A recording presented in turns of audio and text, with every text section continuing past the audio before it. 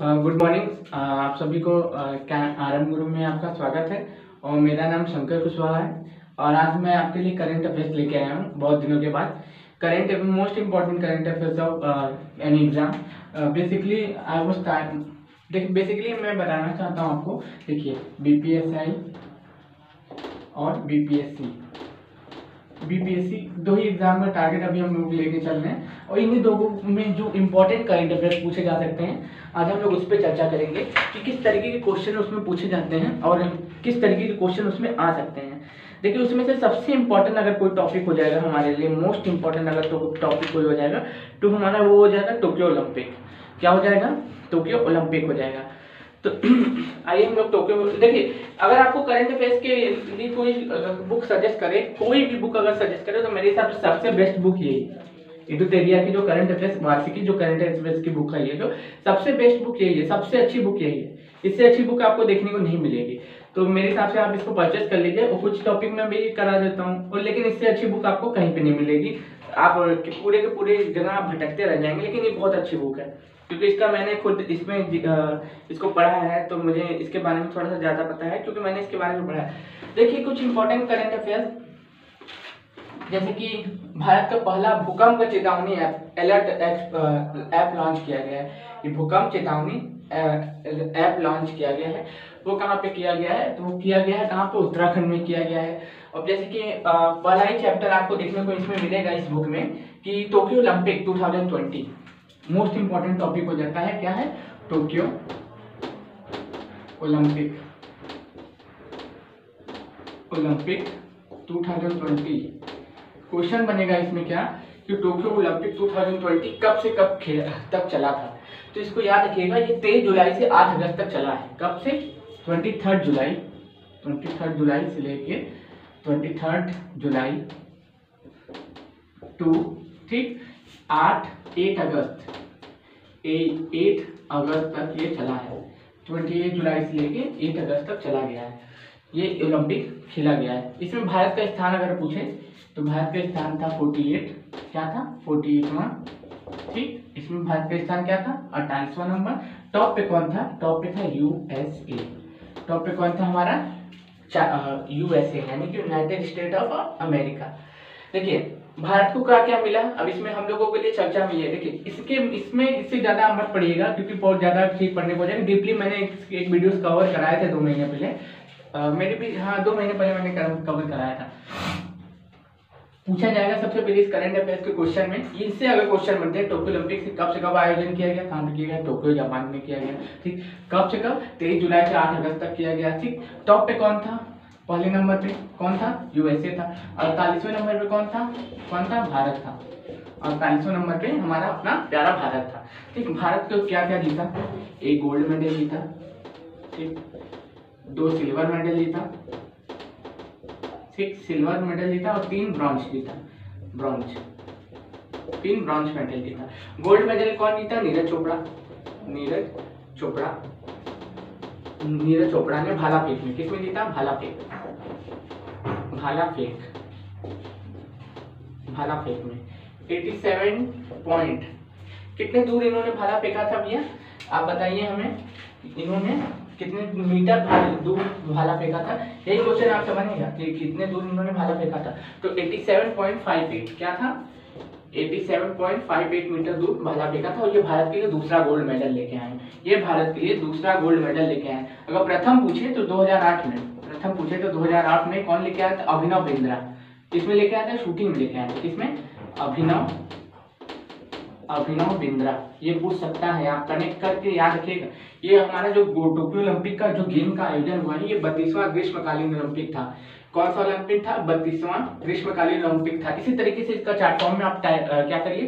Question बनाइए। और इसी तरीके से क्वेश्चन नोट करिए कि ओलंपिक में क्या क्या क्वेश्चन बन सकते हैं। क्या क्या बन सकते हैं इसमें क्वेश्चन टोक्यो ओलंपिक का आयोजन कहाँ किया गया? टोक्यो जापान में किया गया। फिर दूसरी बार किया गया। ठीक। उन्नीस के बाद। कब से कब चला गया? तो कब से कब खेला गया? 2020 वाला था, इक्कीस में आयोजित किया गया। तेईस जुलाई से आठ अगस्त तक खेला गया, ठीक। यूएसए इसमें टॉप पे था अड़तालीस नंबर पे भारत था। भारत ने गोल्ड मेडल जीता, जिसमें नीरज चोपड़ा ने गोल्ड मेडल जीता एटी मीटर भाला फेंक में जीता। दो सिल्वर मेडल भी जीते गए। दो सिल्वर मेडल भी जीते गए। जैसे कि रवि कुमार दहिया जी ने क्या जीता था? सिल्वर मेडल जीता है। याद रखिएगा रवि कुमार दहिया। क्या नाम अरे, क्या नाम है? रवि कुमार दहिया ने। ठीक? रवि कुमार दहिया याद रखिए रवि कुमार दहिया रवि कुमार दहिया रवि। कुमार दहिया रवि रवि कुमार रवि कुमार दहिया रवि कुमार दहिया जी ने क्या जीता है? Silver medal. Silver silver medal जीता है। एक है मीराबाई चानू। मीरा बाई मीरा बाई चानू। मीरा बाई चानू। मीरा बाई चानू ने भी सिल्वर मेडल जीता। सिल्वर मेडल ठीक? इन्होंने भी सिल्वर मेडल जीता। रवि कुमार दहिया किससे संबंधित है? कुश्ती से। किससे है? कुश्ती से। कुश्ती से संबंधित है। रवि कुमार दहिया कुश्ती से संबंधित है। मीरा बाई चानू संबंधित किससे हैं? इस, ये है हमारे किससे? बॉक्सिंग से। किससे है? रवि मीरा बाई चानू सॉरी बॉक्सिंग मैंने बोल दिया गलती से। भारत तोलन, यानी कि वेट लिफ्टिंग से भारत तोलन, यानी कि वेट लिफ्टिंग वेट लिफ्टिंग से। रवि कुमार भैया जी हमारे किससे कुश्ती से सिल्वर मेडल जीते मीराबाई चानू जी किससे हैं, हमारी वेट लिफ्टिंग से और हमारे भाला फेंक, भाला फेंकने वाले जो नीरज चोपड़ा है, जो गोल्ड मेडल है, वो किससे हैं, ये भाला फेंक से हैं जेवलिंग थ्रो बोलते हैं इसको, ठीक? कुछ और भी मेडल जीते हैं, जैसे कि कहाँ से मेडल जीता था? लमीना लमीना जी ने, किसमें मुक्केबाजी ने कहाँ से मेडल जीता है? पीवी सिंधु ने दूसरी बार मेडल जीता है। ठीक ओलंपिक में। दो ओलंपिक मेडल पाने वाली इकलौती खिलाड़ी बन चुकी हैं। कौन? हमारी पीवी सिंधु। फिर एक कहाँ से मेडल जीता? भजन पुनिया ने कुश्ती में। ठीक, एक और मेडल जीता हमारे हॉकी टीम में। बहुत लंबे अंतराल के बाद एक वो ओलंपिक मेडल जीता। वो कौन सा मेडल था? वो मेडल है हमारे कांस्य मेडल हमारी हॉकी टीम में। तो बस इसको इतना ही नोट करिएगा, ठीक? और इससे ज़्यादा ओलंपिक में मत पढ़िएगा। अगर आपको बिहार ऐसा है बीपीएससी देना है तो। जिसको बहुत ज़्यादा इंटेलिजेंट बनना है, वो सब कुछ पढ़े। ठीक, आगे बढ़ते हैं।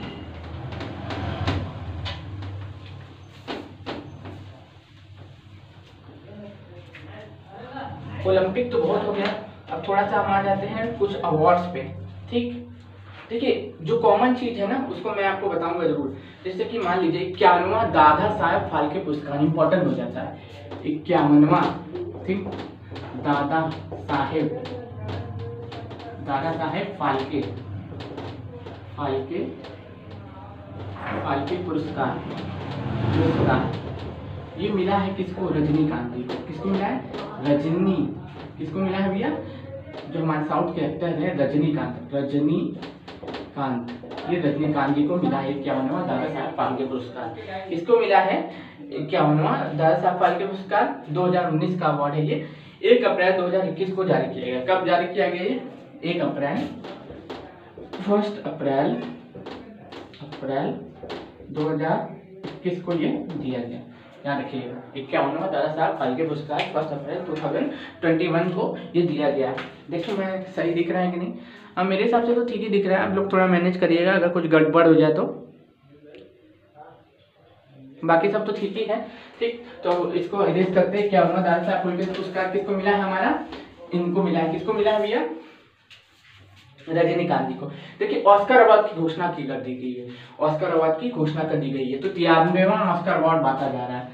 तिरानवेवा, ठीक, तिरानवेवा Oscar award. Oscar Oscar award. Award, ठीक। इक्यावनवा ऑस्कर अवार्ड मिला है किसको? किस मूवी को मिला है? नो मैन लैंड को। No man land no man land को। नो मैन लैंड को नो मैन लैंड को नो मैन लैंड को क्या होना क्या मिला है?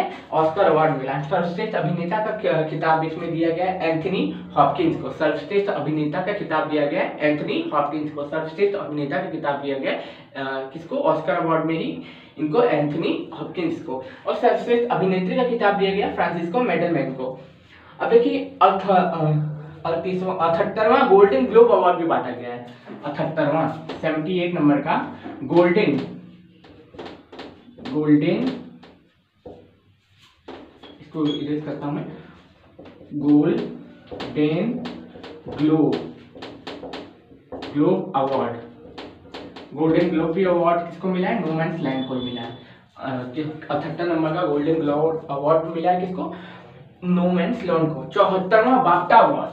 Seventy four number का बाफ्टा बाफ्टा बाफ्टा अवार्ड भी किसको मिला है? नो मैन स्लैंड को मिला है। बाफ्टा अवार्ड चौहत्तर नंबर का बाफ्टा अवार्ड भी किसको मिला है? तो नो मैन स्लैंड को मिला है। तो इसको हम लोग अभी इरेज करते हैं और सीधा सीधा आगे की ओर बढ़ते हैं। ठीक?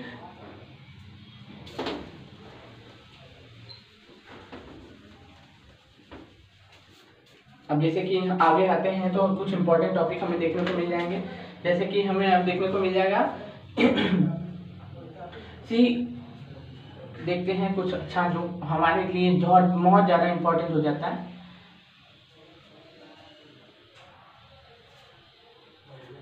ICC test cricketer of the year मिला है हमारे स्टीव स्मिथ याद रखिएगा आईसीसी आई सी सी ठीक test test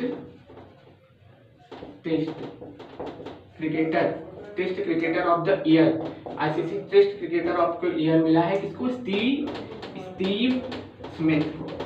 Smith, Steve Smith के। कौन है? ऑस्ट्रेलिया के खिलाड़ी हैं।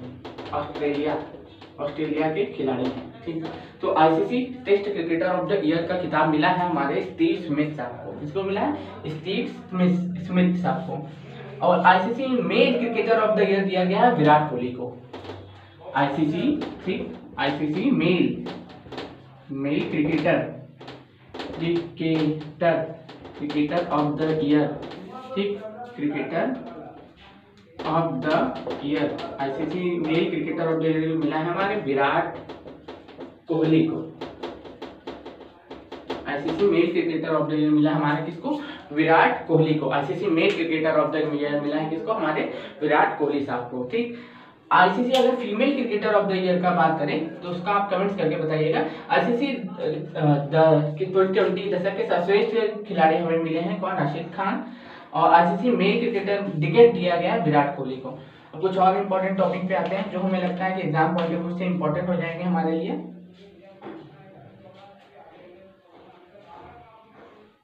रमन मैसेसे पुरस्कार, जिसे एशिया का नोबेल पुरस्कार कहा जाता है। इसे रमन मैसेसे पुरस्कार। रमन? रमन मैक्सिसे पुरस्कार। रमन मैक्सिसे पुरस्कार।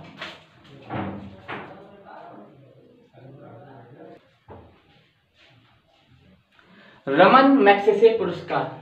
रमन मैक्सेसे पुरस्कार, जिसे एशिया का नोबेल पुरस्कार कहा जाता है। क्या है? रेमन मैक्स क्या है? रेमन मैक्सेसे मैक्सेसे पुरस्कार। पुरस्कार। रमन मैक्सेसे पुरस्कार। जिसे एशिया का नोबेल पुरस्कार कहा जाता है, जिसे एशिया का नोबेल पुरस्कार भी कहा जाता है। इसकी घोषणा कर दी गई है। तो रमन मैसेसे पुरस्कार में कुल किसको, कितने लोगों को दिया गया? कुल पाँच व्यक्तियों को दिया गया। कुल कितने व्यक्तियों को दिया गया? कुल पाँच व्यक्तियों को दिया गया। कुल पाँच व्यक्तियों को दिया गया। व्यक्तियों। कुल पाँच व्यक्तियों को दिया गया। अब उन पाँच व्यक्तियों के नाम हमारे लिए इंपॉर्टेंट हो जाते हैं कि भैया कौन कौन है वो पाँच व्यक्ति। फिरदौसी कादरी, कौन है? ये एक है हमारे फिरदौसी फिरदौसी फिरदौसी कादरी फिरदौसी कादरी। ये कहाँ के हैं भैया? ये बांग्लादेश के वैज्ञानिक है। क्या है? वैज्ञानिक है। वैज्ञानिक हैं कहाँ के? वैज्ञानिक है हमारे बांग्लादेश के। बांग्लादेश। ये हमारे बांग्लादेश के वैज्ञानिक है। दूसरा दिया गया है याद रख लीजिएगा, कुल पाँच लोगों को रमन मैक्सेसे पुरस्कार दे दिया गया है। कुल पाँच लोगों में पहले जो हमारे को ना फिरदौसी कादरी हैं, कहाँ के हैं? बांग्लादेश के एक वैज्ञानिक है। दूसरा है मोहम्मद मोहम्मद अहमद साकिब, ठीक? मोहम्मद अहमद साकिब, मोहम्मद मोहम्मद अहमद अहमद शाकिब शाकिब अब ये क्या, ये कौन है भैया? इनके बारे में भी जानना इंपॉर्टेंट है ये पाकिस्तान के माइक्रो फाइनेंस के संस्थापक है। क्या है? पाकिस्तान के माइक्रो फाइनेंस के संस्थापक है। पाकिस्तान के माइगो फाइनेंस के संस्थापक है। ये पाकिस्तान के हैं, याद रख लीजिएगा। पाकिस्तान के, पाकिस्तान पाकिस्तान के माइक्रो फाइनेंस के संस्थापक है। तीसरे कौन है भैया? तीसरे को भी इंपॉर्टेंट हो जाता है। पाँचों नाम इंपॉर्टेंट है, याद रख लीजिएगा। रॉबर्ट बेलोन, कौन है? तीसरे Robert Robert Bellone. Robert Bellone है, तीसरे हमारे कौन है? Robert Bellone. अब ये रॉबर्ट बेलोन है कौन? फिलीपींस के मछुआरे हैं। क्या ये फिलीपींस के मछुआरे हैं? क्या है? फिलीपींस, जिसकी कैपिटल मनीला है, फिलीपींस। फिलीपींस एक देश है। तो फिलीपींस के क्या है? मछुआरे हैं। मछुआरे हैं। फिलीपींस के मछुआरे हैं। चौथे नंबर पे कौन है भैया? चारों पाँचों नाम इंपॉर्टेंट हो जाता है। चौथे नंबर पे